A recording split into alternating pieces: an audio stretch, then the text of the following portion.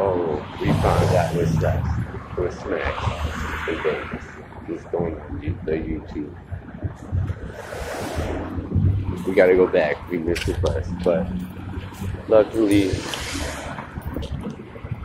this phone was I forgot where it was. Hold on. We're gonna find out.